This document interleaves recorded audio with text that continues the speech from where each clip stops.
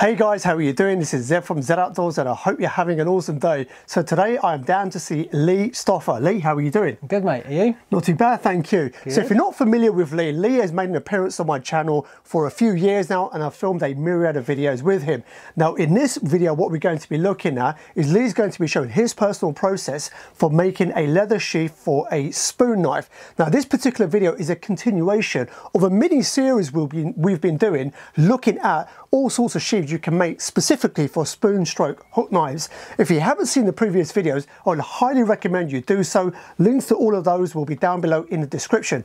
In case you're not familiar with Lee Stoff, and this is the first video you're seeing with him in it, or even me, Lee is a professional green woodworker and also tool maker. So he really, really knows his stuff and has a lot of experience when it comes to this particular skill set. So like I said, in this video, we're going to be looking at a certain style of leather sheath for a spoon hook knife. In this mini series we filmed in general, we have looked at a couple of other variations. So once again, links down below will be in the description. So Lee, with your kind permission, shall we get started? Let's do it. So guys, I hope you enjoy the rest of this video.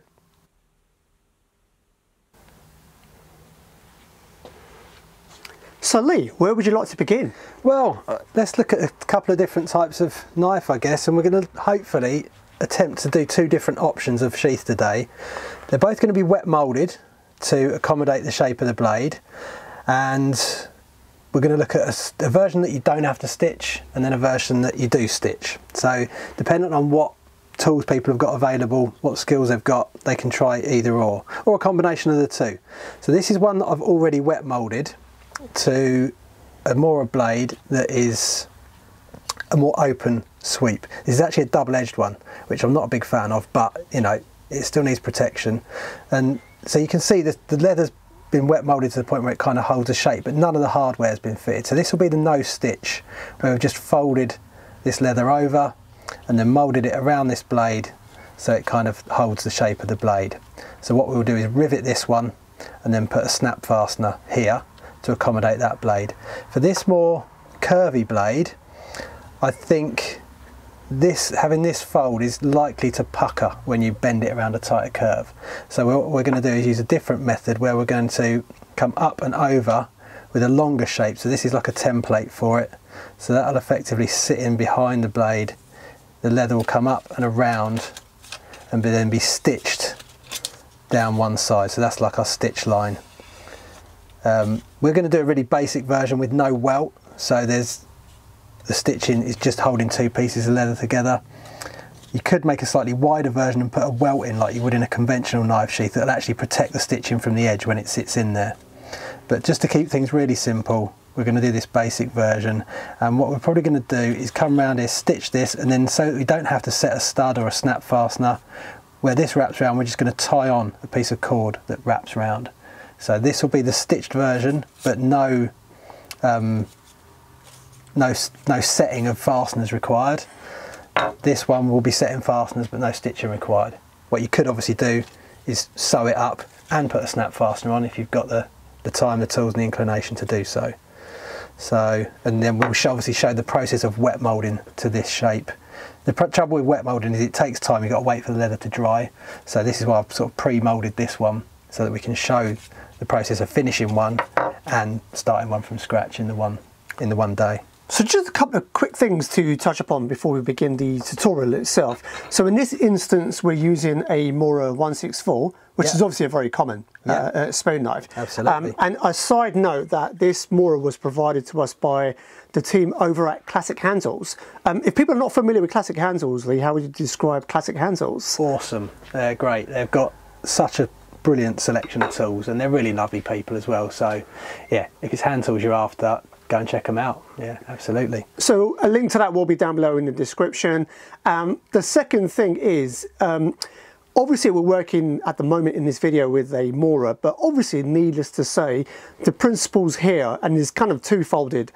Number one, obviously you apply this to whatever spoon knife that you're going to be making it for. Um, and secondly, what you're showing here is obviously just some variations, but obviously would I be right in saying that people can be playful and kind of experiment around with kind of what you're going to be showing? Absolutely, yeah. That's why I thought if we try and do two different types, you can take whatever element of each type that you think is going to suit the job that you've got on. I say I think this one where you're folding it, there's no stitching to cut there, there's none to do, and you also you've got a solid piece of leather where the edge of the knife is.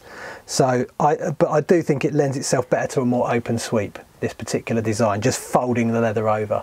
The more that you bend that leather, the more it's likely to want to pucker up on the inside and, and close up on the outside. So I, I just think that for a more open sweep knife, this style is going to be fine but you might find that you can make it work. So by all means experiment with it. That's, you know, we're, we're just playing with ideas here really.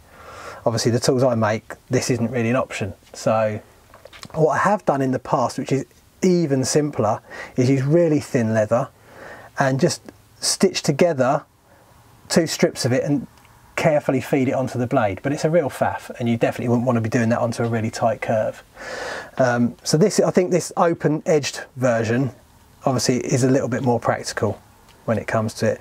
What you do need to be careful of is what type of leather that you're going to use. So I've got a few different sort types out here. This is a raw veg tan leather, undyed, unfinished, perfectly suitable for wet moulding. Um, but obviously you want to apply some kind of dye and a finish to it. This is a dyed version of the same stuff. Again, it's wet moldable because it's not got a finish on the back so it's still going to still going to soak up the water necessary. This has got a dye and it looks like it's got a little bit of a finish on it maybe as well. And it's also quite stiff. What we don't want for this where we're going to bend it is a really thick leather. I think it wants to be you know no thicker than two millimeters. Um, so we've got a selection here but this one is totally different. This is a chrome tanned leather so this is sort of stuff that would be used for for boots generally. Um, and because of the tanning process it's not as far as I'm aware I've never tried but it's I've been told that this will not wet mold the same way because of the type of tanning process and it's not going to soak up the water as much. It's designed to be a bit more water resistant. So it and it's also quite floppy. So you're going to want a leather that before you've wet molded it is reasonably stiff so that when it's wet molded and it takes that shape it, it goes back to that reasonably stiff state so it's going to hold the shape so let's, I'll just check, quickly check this and measure it. This is the stuff that we're actually going to use, this pre-dyed stuff. And we are looking at, yeah, it's just under two millimeters. And I think that's going to be about right for this particular project. Anything around, it's going to vary throughout the hide, but yeah, anything around the sort of two millimeter mark, I think should work quite well. Okay, so I've just basically made a template out of paper before we're going to worry about trying to cut it out of the leather. It's going to be much easier just to fold the paper around the knife. And if you notice this, this is a right-handed knife, so the edges on this, on the outside, it's on the right-hand side of the knife. And if you notice that makes this basically an L shape, the template that we're going to use. So we want this tab to be on the spine side of the knife I've just butted that up to the to the bolster there, wrapped it round, allowing a little bit of space at the top there, and then basically folding it over and marking that as halfway. Obviously then fold it at the halfway point and cut that to the same length. Um, that wraps around and takes the shape of the blade. This bit will, will fold over whether you're putting a snap fastener on or tying it off. It's just going to help to locate the spine of the knife in there. But what's quite important is if we're going to use a leather that's got the, the slick side and then the suede side, is what which is the inside, which is the outside. So this is the outside of the leather, this, this finished side, but this is the inside of the sheath. So obviously you want to turn this round. So what it would be dead easy to cut that straight off the corner, right? But then when we fold it over, we're going to have the suede side on the outside. So it's quite important that you orientate it correctly. So I've marked the inside of this and then let's just lay it on the inside of the leather. So just as a general principle for those who haven't done leather work before, uh, you would always advise to do a paper template first. It's just well, it doesn't have to be paper. What I quite often use is um, something if it's something a bit more substantial that you're not going to have to bend around a shape. What's quite a good is a lot of cuts of vinyl flooring because it's a similar thickness to leather and it's got a similar kind of tension to it. So if you say if you're looking to wrap something around a handle and get an idea of the size, you can use a similar thickness material. But for this particular purpose, I wanted to be able to just bend it around the blade really easily. So paper was, yeah, by far the best solution for that, I thought. Um, we'll lay this on and mark it out as kind of efficiently as we can. So we'll leave that corner because that potentially do a left-handed version. So we're going to get that out of there. We can just mark this up. Biro is quite good for actually marking this. So I'll just grab one of those. You know, if you're marking on normal undyed veg tan leather, it will mark on either side, but it will not come off. Biro kind of changes the chemical structure of leather, but you can you can sort of see it. And if even on this darker coloured leather, I should be still be able to see this, or if nothing else, it will leave a little bit of an indent. So we're just going to mark that up. And I've basically just made this template very slightly wider than the blade itself, obviously because we're going to be stitching some of it together, so we need to leave a little bit of space in there. So if I just lay that on, you can see where's the, there's the stitch line and that the widest part of the blade is going to accommodate it. Obviously the blade thins out towards the end, so there's a little bit of space inside. You can basically see the shape on there, hopefully.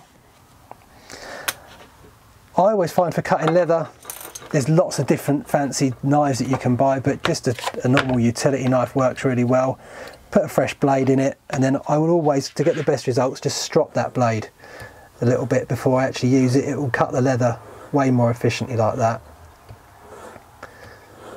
When you've got sort of sharp internal corners like this, it's sometimes preferable to actually punch a hole. So these hole punches, you can get this sort that's got the wheel on it with all different sizes, or you can get individual ones that you hammer on. But if we take that corner and just punch out the actual corner that we're cutting up to, make sure that anvil's lining up nicely, crunch through it, and then actually that little scrap there, that's what I normally just pop that underneath. We've got a brass die there for to punch down onto, but they're going to remain sharper for longer if we don't come into contact with the, with the metal. So you see I've just basically punched out on the corner, so now I'm going to run the knife line off of that, and it's not got a sharp corner that might eventually kind of tear, putting the, by point, putting the point of the knife in. You can use a, because we've got straight edges, we might as well actually use a straight edge. So coming from just inside that, this is our point here that we're coming to. So I'm just going to put the knife in. It's nice and sharp because we've stropped it. Come down to that point or just, just a little bit beyond it. And then come straight out there. This is our line here. So we'll take that off there. And then again on the inside, it's not much. There's not much of a line there, so I'm just going to come inside that hole and just pull it out without the ruler. And that's the shape that we're going to need. So what we should find now is we should be able to just hold that on there and it will wrap around that blade. Because the internal space technically is slightly shorter, going around the outside is a slightly longer path than the inside. To get these to line up, you notice this is crept off the back now, so I'm to have to pull that back down and push that back inside so this, this point here is gonna, we wanna leave a little bit of space here, basically, so we're not gonna take the stitching all the way to the end. And we could effectively cut this inside leg just a tiny little bit shorter, I think. So effectively, when we stitch it together. But just needless to say, for those watching, you've got to think about the spoon knife coming in and out, don't you? Absolutely, yeah. Which is where I think, in the best, in, you know, if you could be bothered gluing a little a welt, an extra piece, just like a straight line of the leather inside that, that then encompasses the stitching is also going to give that capacity for the blade. Um, it's an extra stage that involves really gluing it in and then you've got extra thicknesses to punch through. So it, it does complicate the job a little bit, but I think realistically it probably wouldn't be a bad shout to do that. But we're just going to keep it simple for this. So that's, that's going to accommodate that blade, but because of the way that that's going to work, we're going to stitch it with those together and then let the leave a little bit of room, wiggle room at the end there, basically. So that's really the next job now is to stitch it. Right, so the next tool we're going to look at, which is not essential, this is a stitch groover. So what it effectively does, you can set this as a distance from this central post and it cuts a tiny little sliver of leather out to accommodate the stitching and set the stitching in flush with the surface of the leather, which helps to protect the stitching a little bit. It's not essential, but in this case I happen to have one. So I'm just going to run this. This will be the edge that we're stitching together. So like that's the bit that's coming over and that's folding over there. So this outside edge here is the bit that we're going to stitch. So I'm just going to set that on that edge there, run this down all the way down, leaving a little gap at both ends. And that will just help to accommodate our stitching. These, you know, it's a handy tool to have if you're going to do more leather work. And also, it, obviously, it helps to define a nice straight line for the stitching.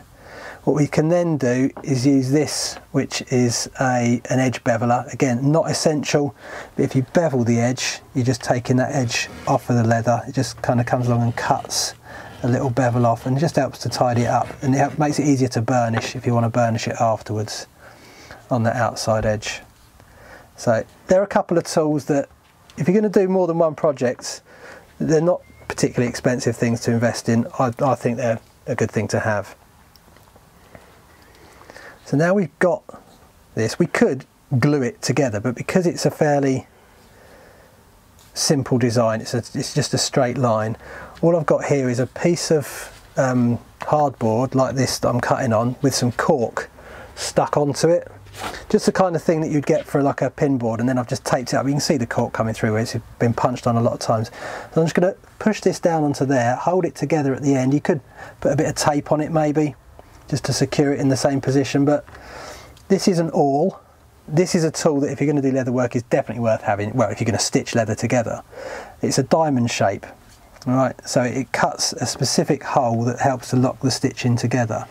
So just going to hold that together on that edge and push it down straight onto that board and hopefully if we push it down straight it comes out into in the groove on the opposite side. And this single thickness this is why I've kind of opted for this. When it comes to stitching leather together pushing this through can be difficult to get it dead straight the thicker the leather gets. If we put a welt in there it makes that process that little bit harder. But now we've got that one hole that locates the end what I'm going to actually do is take that out and just grab a needle just to pin that down so this is just a little needle case, dead simple little project that you can make. I'm just going to pin that now with a needle so that we know that those stitches line up. There is another option, is if you lay this out flat, you can use something to mark your stitch positions and punch through a single thickness. Okay, there's various options for that. Um, again, they're an investment but you can get things like these which are like a set of awls in a row on a thing that you can actually lay on there and punch through. So you can tap the top of this with a hammer on obviously onto a softer surface. You don't want to be doing it onto anything too hard because you'll knock the points off them pretty quick and you can tap that through and you can do that from both ends and when you come to the middle you know that that's a, a fixed distance so that everything will actually line up but again, it's another investment. Just to keep things simple, I'm going to go along and do it with the awl. What I've also done in the past is just a normal fork that you'd eat your dinner with, metal fork. You've got the four prongs, put your first prong on the first hole that you've punched, and then just, you can just go along and mark. Just press it in to give you a little mark to then guide your awl. But there's no real need. It's we're, we're just let's just do this as simply as we possibly can. So pin those first two holes back together with a needle sort of stick that into there, hold it down so it's nice and flat and the edges line up. Then we'll just go through with the awl and just eyeball the distance. We don't have they don't have to be a fixed distance apart. Just try and keep them fairly even. Push the thing straight down. Mind your fingers because it is very sharp obviously. So while you're doing that, for those watching at home, why specifically a diamond shaped awl? The diamond shape helps to lock the stitching in. So it gives the, the, the wider part in the centre gives room for the needle to actually travel through. And then when you, the, the, the type of stitch that we're going to do is called a saddle stitch. So it's basically like you're tying a small knot in that gap and what the saddle stitch does is it kind of locks off each stitch as you stitch it. So those points of the diamond is where the actual thread pulls into. And it helps to just lock the stitching into place. You could technically punch the holes or drill them, but with this we're not removing any leather whatsoever. We're, we're kind of just pushing it out the way to allow space for the needle and thread. So this is considered to be the, you know, the strongest, best option for actually stitching leather together.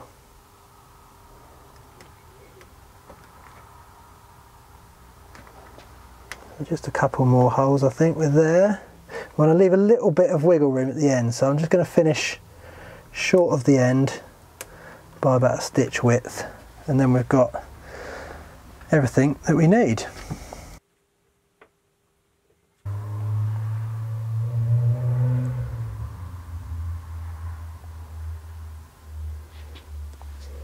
Right, so this is a, a good time to mention our friends at Stonesfield Leather.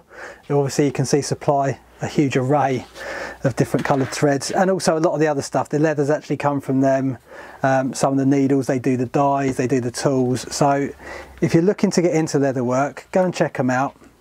This little gadget here that I'm setting up is mostly so that you can see what I'm doing better. You don't need one of these, but it's a handy thing. It's called a stitching pony or a saddler's pony and what it does is it's just going to hold the seam together. You see I've still got my needle in there just to locate that. Um, and then we're going to I'll be able to show you this. Held not you know I could hold this between my knees or just in my hands but I'm going to cover a lot of what I'm doing for you to film this if I do that so it's just going to be easier for you to see what I'm doing but again if you're going to be stitching a bit of leather they're a brilliant thing you can make it yourself you can buy one whatever you feel like. They're not complicated, but they're really quite handy things to have. We're going to want a pair of saddler's needles. You can see they've got quite a, reasonable size eye, maybe you can. They've got quite a big eye to accommodate the thread, but they're, they're not long. It's, it's a very strong eye and they're not particularly sharp. I mean, you don't want to stick one in you because they will, they will puncture skin, but they're not sharp like a, a sewing needle would be because we've already punched the holes. So they just need to find their way into it. When it comes to measuring how much thread we're going to need, obviously that's one length. We're doing it twice, so we need at least two lengths. And then you're going to want enough to go through and a bit for the a bit what we call a bit for the needles. So let's take twice what we need in terms of basically about four times your length if you're not putting a welt in is about right I think so one two three, four, and just a little bit for the needles. If I'm going for um, something that's thicker leather with a welt, you're obviously using much more leather, much more thread up inside the joint itself. So I'd go like six times the length of the seam, just so it's convenient. To this is a waxed thread, so I normally pinch it onto the needle and just pull it so it flattens it nicely to go through the eye. Just push it through take a couple of inches through. Do not knot it onto the needles, just pull it back and it kind of sticks to itself a little bit. We're going to leave that one in there and there we go.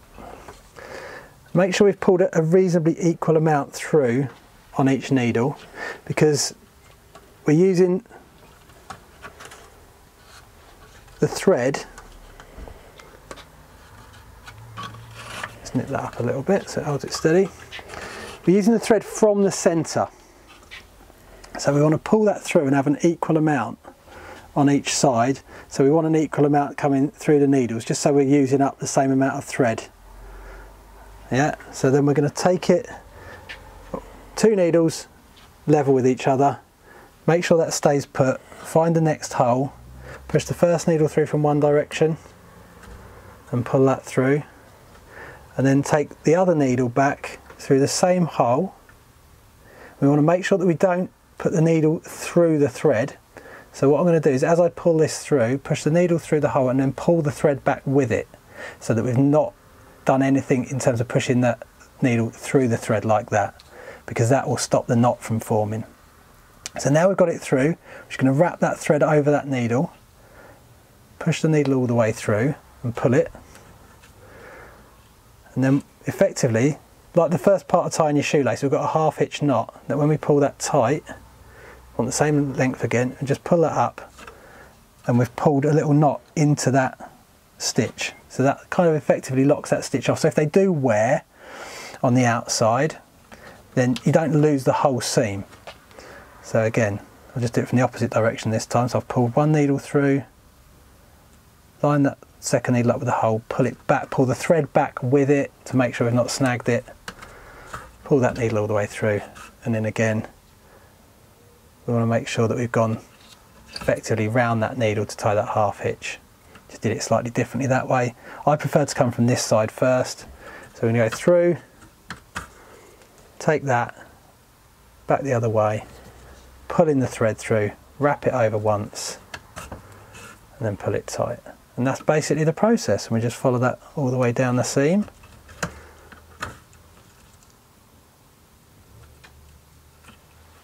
Wrap once, pull it tight. Don't over, you know, we're just looking to set those stitches down into that groove that we've made in the leather. Don't want to pull it stupidly hard because it's very strong thread. So it could cut into your fingers and it could also pull through to, you know, through to the next hole in the leather if we really yank on it. So it's just to set it. I'm going to try and keep an e fairly even tension when we do that as well.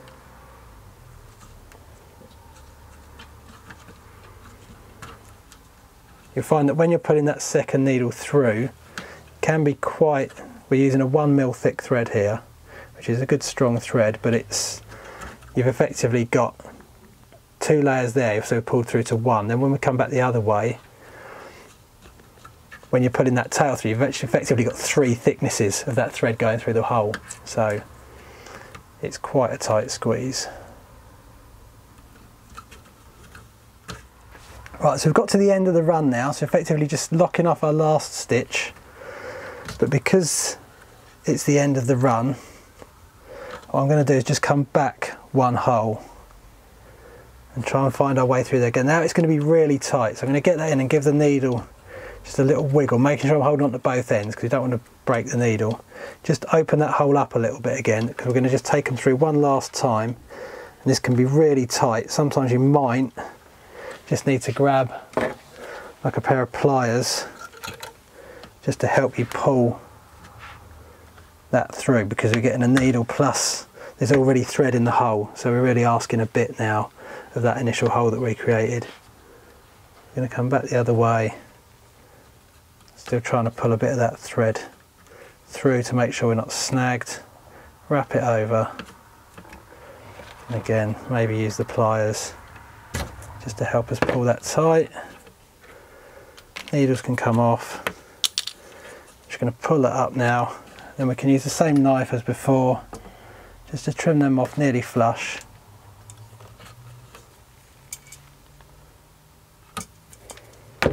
And then if you like, depending on what type of thread it is, you might be able to use a lighter just to kind of singe those ends together and just to stop them, put a little ball on the end, stop them pulling through. But the fact that we've gone back on itself, it's just locked off in the hole, should be fine.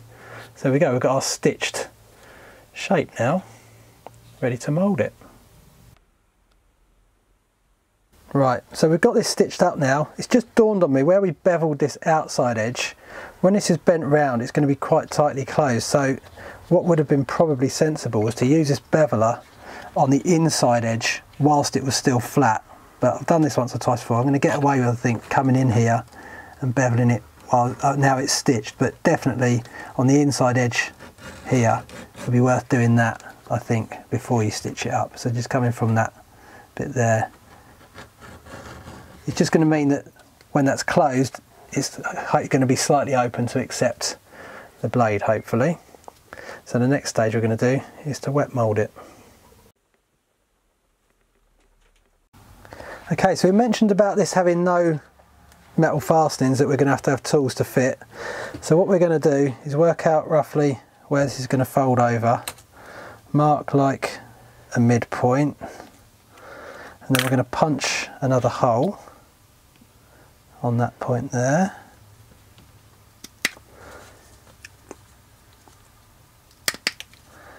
And in this case I'm going to use a bit of leather thong, you could use a bit of paracord, just a piece of string, but I'm also just going to trim this up around the hole a little bit to put a little bit of a point on it, just to neaten this up a tiny bit.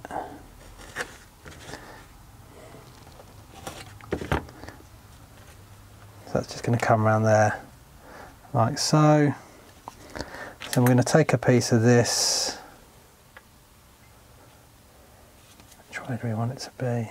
Yeah, I think we'll have the knot on the inside. Just put a simple knot on the end of this. So the knot is on the inside then? I think I think that's going to work the best. We'll see in a minute.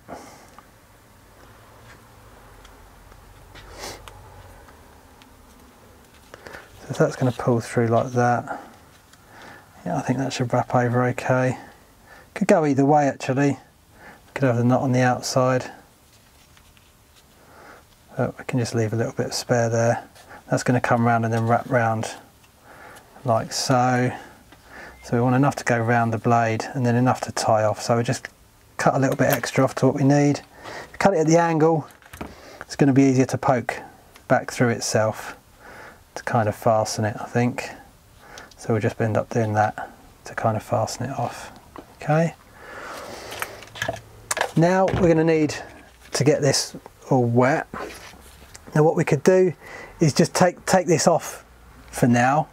Um, we know it we know it's going to work and we could wrap it up with with cling film or with a bit of paracord whatever because what I'm concerned about when you're going to be wet molding the, the dye that you want to use wants to be a water-based dye ideally you get oil-based dyes which will then obviously slightly waterproof the leather I'm pretty confident that this is a water-based dye that we've got on here so we've got a tub of warm water but obviously stains that are water-based and designed to stain leather are also going to stain our skin probably. So I'm just going to pop a pair of gloves on just in case.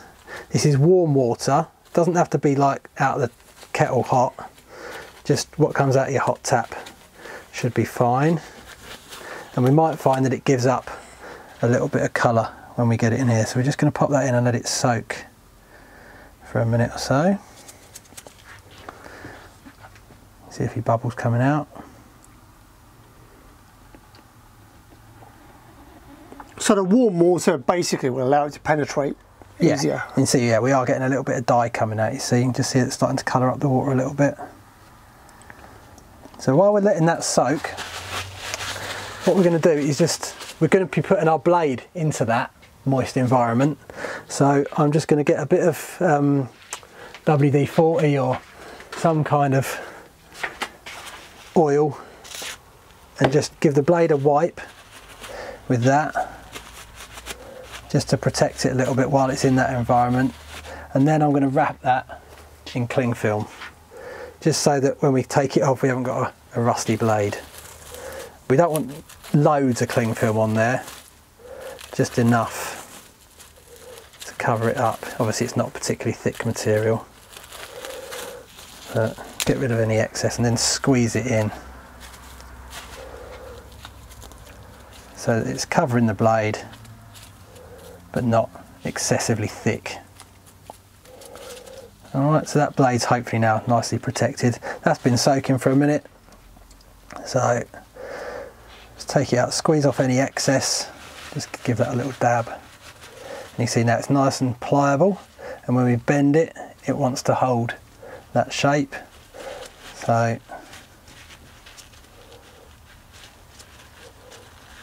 just going to take off any excess there. We don't, you know, it doesn't need to be dripping wet. And you can see it's colouring up that cloth a little bit because some of the dye is coming out, but that's not a bad thing. The thread is waxed, so that should resist soaking up any dye.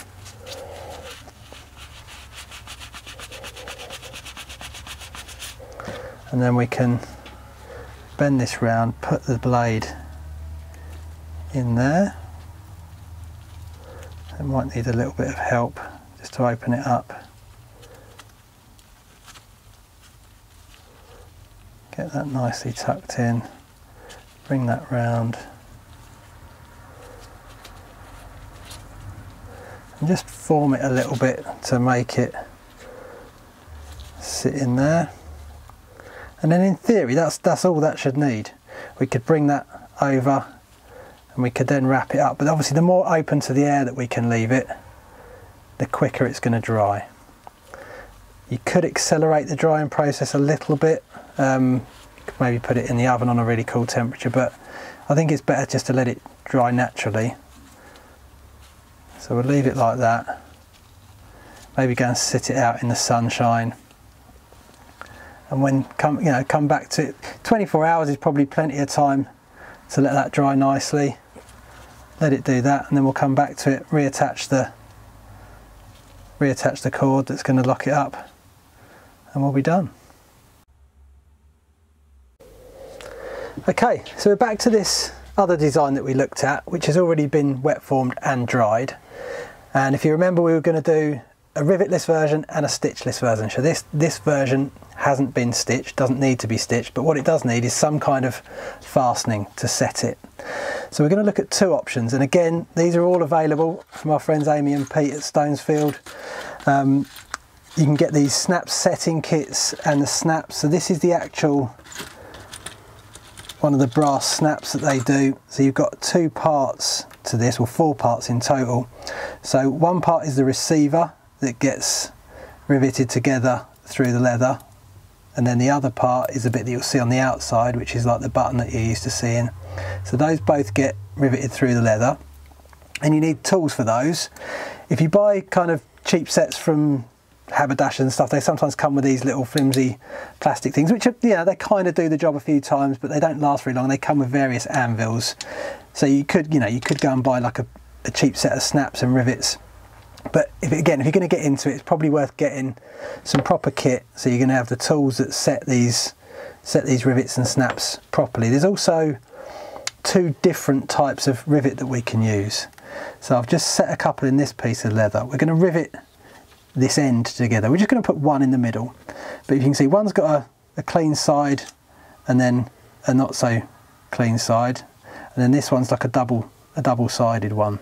So they, they're a couple of options. They're both going to be set with similar tools. What we're going to do is go with a slightly prettier version, which is this closed option. So you've got a post with a rivet head on it and then a socket with a rivet head on it and they plug together again through the leather and get set. So that's what we're going to look at next. There's various tools that you know you can pick up either individually or in a, or in a set. This is like a little anvil that takes a different size bits like this so it supports the shape of the actual thing as you're hammering down on it to set it. Um, and then this is the one that's just like a, an open curve for setting these rivets, the domed head, so it doesn't just squash it dead flat. If you notice there's different sizes. What we want for this thinner leather is probably a line, a line 20, I think this size is, so it's a smaller size. It's not got such a tall post, so it's good for going through thinner stuff. For, for going through thicker stuff, you just go for, go for a bigger one. So that's what we're going to look at doing next. Okay, so we're going to go about putting these holes in. We're going to want to mark a position again. So let's take roughly the centre of this and make a mark. Okay, we're going to now find the punch that corresponds to the post on the on the actual snap. That looks about right.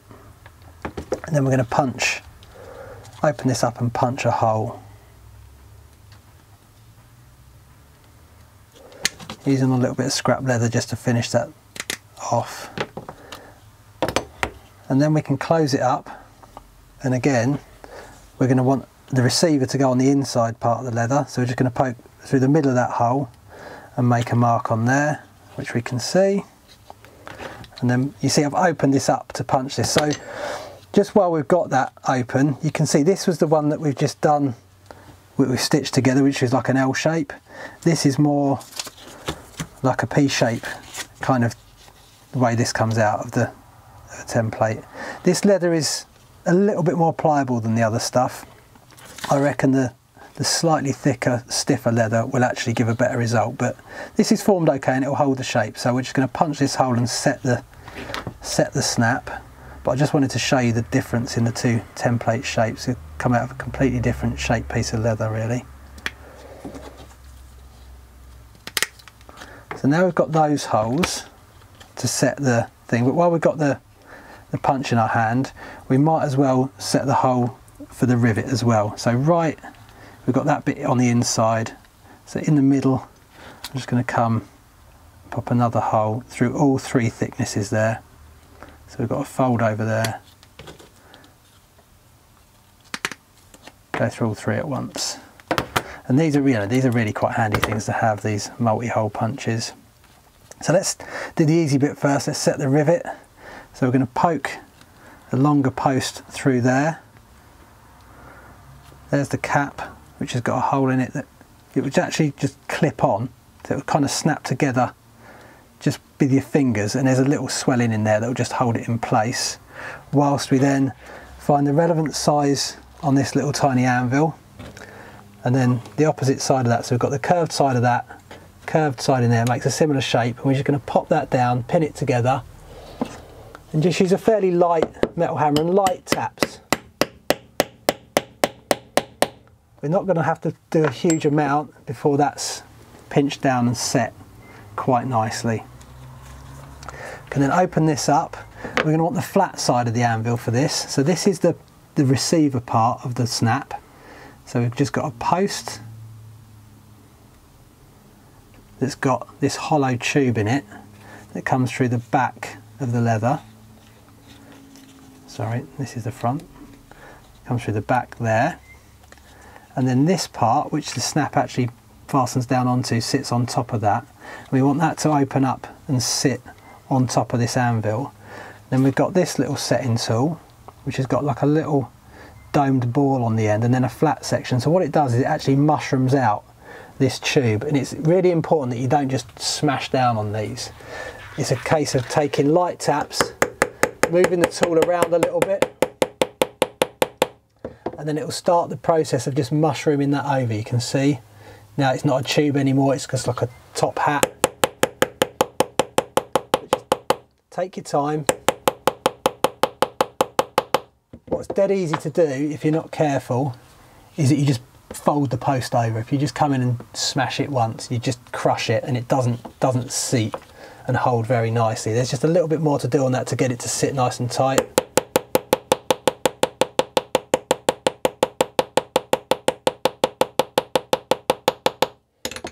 Go, nice light taps and we've got a good secure fastening there. And then this is basically the same, except the bit that we're going to press down with our finger or thumb comes through the hole and that's got the tube in it. And then this receiver part, which has got a little lock ring inside that snaps down onto here. Because we've got this domed shape, we want to find the corresponding shape in this little anvil, which I think is that one there. See, that fits all the way into there. So that helps just to support the shape of the snap fastening as you're setting it. So same sort of thing, we're coming down, same tool.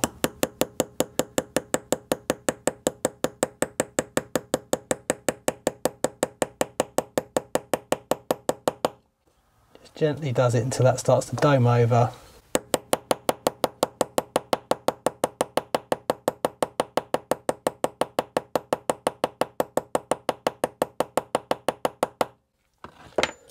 We go, that's nicely set inside, nice and clean. It's not rotating, and that's what will punch to snap together like that. There is an alternative to that, which is called a Sam Browne stud.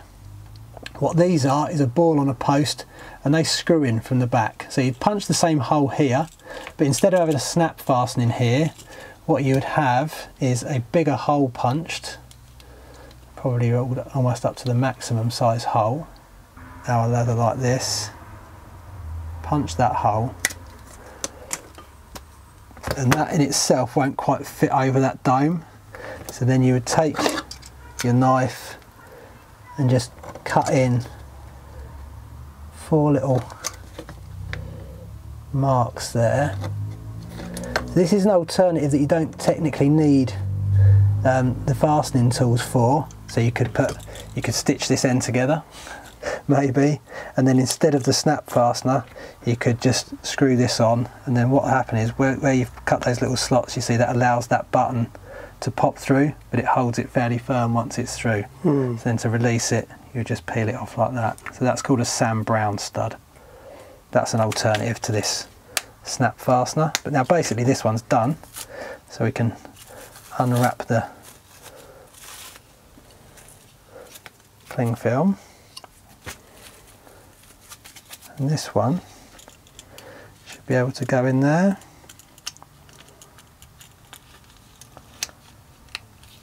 Fasten on. So that's that version with no stitching. Right, so here we have the two finished versions. This is the one with the metal hardware, which unpops and the knife comes out, goes back in. The other one is still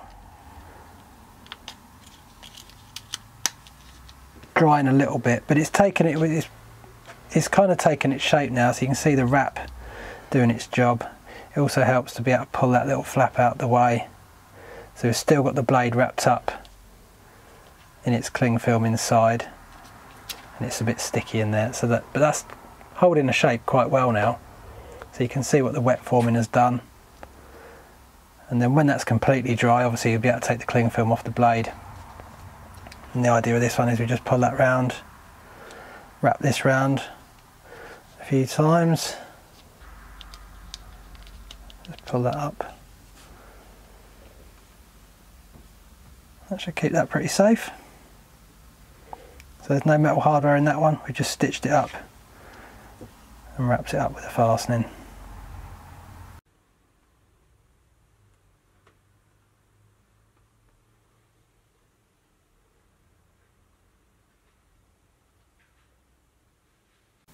So there you have it, my friends. That is a wrap for this video. Lee, thank you so much. Welcome, mate. My pleasure. So, a final recap. As mentioned at the very beginning of this video, this video is part of an ongoing series to do with spoon stroke hook knife sheaths. If you haven't seen the other videos, once again, links will be down below in the description to those videos. Highly recommend you go check those out.